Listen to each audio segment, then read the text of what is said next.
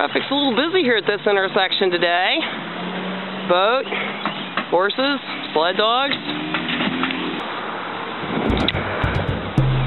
Okay.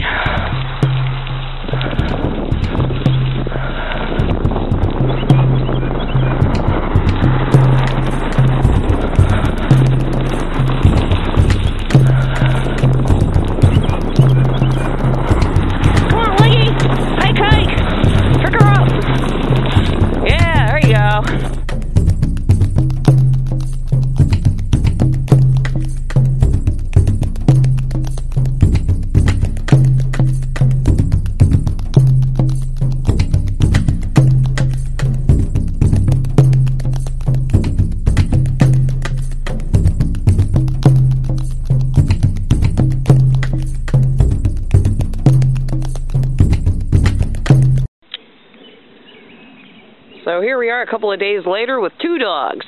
For bike joring with two dogs, you want to have a neckline.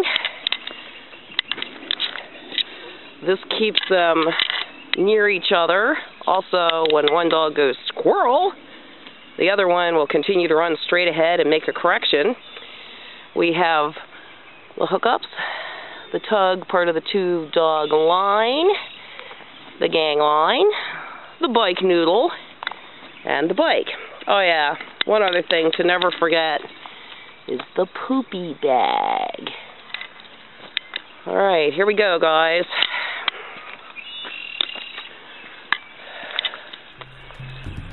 This extra line is not a rein. Sled dogs work off voice commands. Don't use reins. That's just a safety line so they don't run off.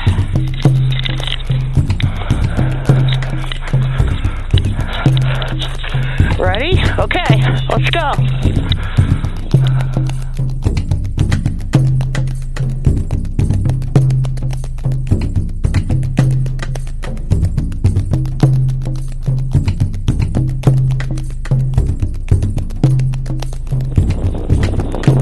You want to keep your pace on. That is your leave it command.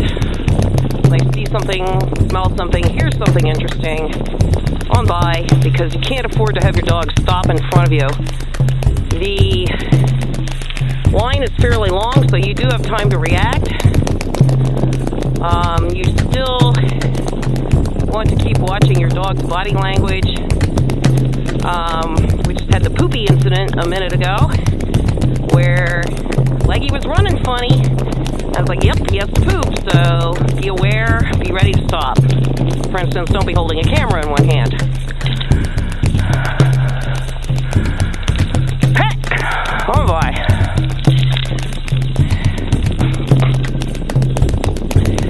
I'm very adamant about the on by command because if he stops or dodges, it could be dangerous. You teach this on a leash, and then you just make sure they pay attention to it. Um, keep your pace to your slowest dog. If somebody slows down, the tug slackens up, they come back in the neckline, you use brakes. You slow down. Don't let one dog dangle out to the side or behind you. You could uh, have a harness strip over their heads and then have a loose dog. And a loose dog could be a dead dog.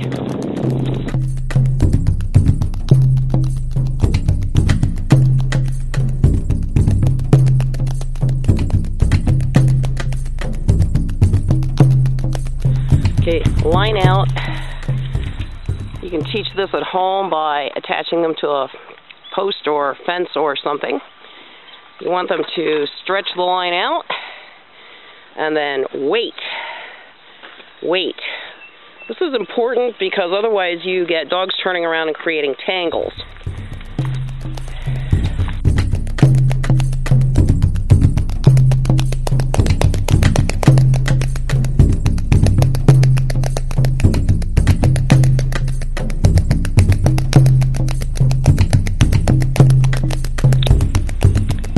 Have ridiculously well trained dogs, you can probably use a gee come command or a haw come command and you can get them to turn around.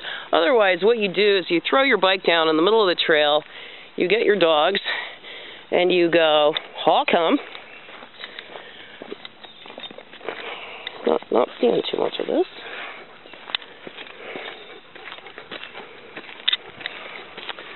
Oh, Bickies also work. Wait. Of course, they'll try to turn around the other way because going back's boring. Wait. Wait. Bike is now backwards. Wait. No, no, no, no. Nope, nope, nope, nope. This way. Come on. This way. Ho. Nope. Ho. Wait.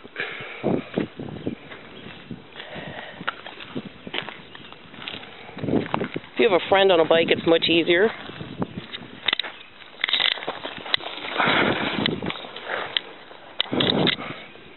Line out.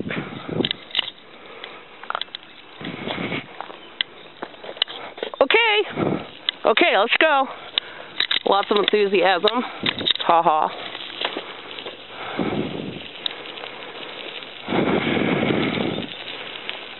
And you've turned around, and, you know, the enthusiasm continues. Ho, ho, ho, we're going back. Bike joring with one or two dogs is uh, pretty easy, pretty simple. Um, teach your dogs the basic commands on the ground, on a leash, and uh, get them used to a rattly set of wheels behind them by having somebody ride a bike or walk a bike behind them uh, and then hook them up and go for a ride. Choose a nice trail. That's not going to be too challenging at first. And uh, if you can, take some buddies. Have fun.